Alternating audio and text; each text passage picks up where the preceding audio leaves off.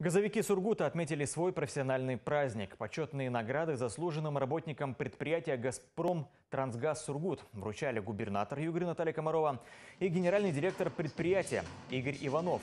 В этом году государственных, городских и региональных наград удостоены порядка 146 работников предприятия, среди которых ветераны компании и молодые сотрудники. Коллектив предприятия насчитывает около 9 тысяч человек. Поздравляю трудовой коллектив «Газпром Трансгаз» Сургут, ветеранов компании с профессиональным праздником.